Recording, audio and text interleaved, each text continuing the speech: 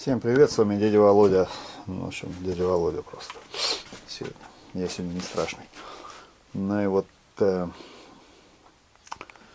я думаю, что я вам уже к тому времени, как это видео вы будете посмотреть, вы уже посмотрите предыдущее, которое будет показано, как я ехал в ночи, и фара эта светила в небеса. Ну а раз она светила в небеса, значит я ничего не видел. В общем, я ехал там на ощупь. Короче, сейчас будем ставить большую фару, большой обтекатель другой. Но это, конечно, из области фантастики. На самом деле я буду дорабатывать то, что мне нравится. А мне нравится вот это вот. Нравится эта фара. Нравится то, что я делаю. И нравится, чтобы мне не мешали. Вот такие вот дела. Значит, значит вот такая вот тема. Значит, чтобы опустить фару ниже, нужно открутить всего лишь один болт. Вот он. Подложить что-то, что-то, и она опустится вниз и будет светить туда, куда надо, а не в небо. Ну и чего я тут понаделал? Ну, выставил фару, переставил вот этот крепеж вот с этого нижнего болта, вон на тот дальний, верхний. И фара наклонилась, здесь проставку резиновую, то есть можно подрегулировать путем сжатия вот этого вот резинового демпфера. Короче, фара светит сейчас все правильно, ну я так думаю. Выровнял приборку, все это конструктив завернул вот туда вот, вот, вот эту сторону поднял, а вот эту опустил вот такой. Крутанул ее, сейчас все полные параллели, все нормально. Короче, и сразу этот ветровик стал э, кокочником, называем его кокочником, не в бок, а так ровно. Сейчас буду позиционировать кокочник, э, не позиционировать, а раскреплять не на двух точках крепления, а еще просверлю, чтобы его ветром как бы не загинало. Вот вырезаю, вырезаю вот такие штучки, дрючки, вот сюда типа втулочки. Вот, видите, вот втулочка. Уже вырезал две и одну из них проводил вон туда в щель. Вон она там лежит. Для этого сейчас берем крючок. Крючок, мучок. Мучок, крючок. Берем и крючком пытаемся выловить эту хероту, которая у меня улетела. Сейчас. Оп. Зацепили зацепили, выводим и достаем. Вот она. Вот она. Это на беглец, беглец. Беглец, вот он, беглец нашелся. Так, ну что, на месте все нормально, вот так вот будет, прям стоя, прям так вот будет вообще, Дакар прям такое.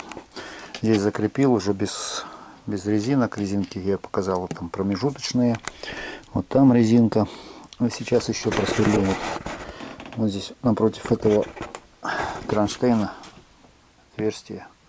Через втулку закреплю. От проворачивания будет зафиксирован. Ну и с этой стороны что-нибудь придумаю. Тоже придумаю. Что-нибудь придумаю. Что-нибудь придумаю. Ну и а сюда что-нибудь вклею такое. Типа у меня тут будет такая вот ниша для чего-нибудь сумочка какая-нибудь для бардач для телефона или чуть-чуть там для документов. Ну и снизу мы тоже заделаем так красиво сделаю такую вот такую перфорированную.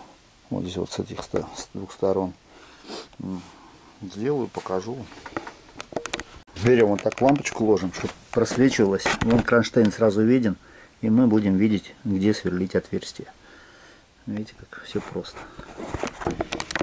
Смотрите, сколько всего инструмента пришлось применить.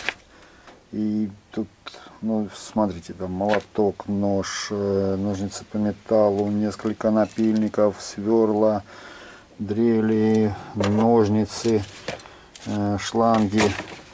Еще лактайтом я тут э, посадил, посадил все эти соединения, чтобы тут вибрации не открутилось. Вот такие вот переходнички сделал, чтобы тут все это держалась, не ветром не оттопыривалась.